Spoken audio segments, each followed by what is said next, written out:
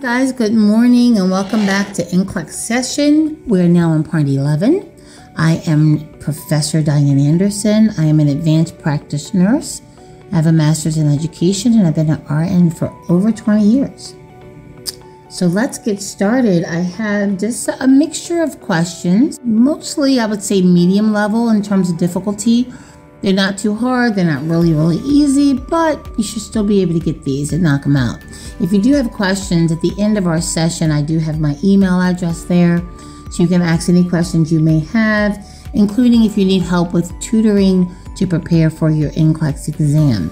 And if you are a med student or already a nurse, and these are questions that help you to brush up on what you're already doing, if you still have questions, please reach out. I love helping everyone. Okay, guys, let's get started. Question one A patient with a history of asthma is prescribed a long acting beta agonist, an LABA inhaler. Which medication should the nurse expect to be prescribed alongside the LABA for optimal asthma management? A. Oral corticosteroid B, a short acting beta antagonist or SABA inhaler. C, an anticholinergic inhaler. Or D, a leukotriene modifier. If you chose B, a short acting beta agonist inhaler, you are correct. Examples of that medication would be albuterol, also known as ProAir or Proventil. An example of one of the long acting beta agonist inhalers that doctors usually prescribe would include Serevent, Brovana, Perforomist, Foradil. Any of those names that you've heard of, those are long acting brands. The reason why it's prescribed is because you need quick relief of your asthma symptoms, and that's where the short acting um, beta agonist comes in. And um, when you have the long acting, that's for long term asthma control. More like a corticosteroid, which takes a little while to um, work.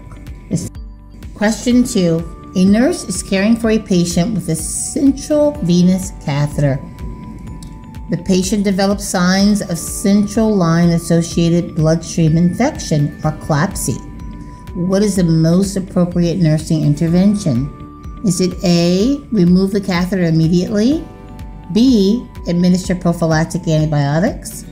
C, change the dressing around the catheter? D, obtain a blood culture and notify the healthcare provider.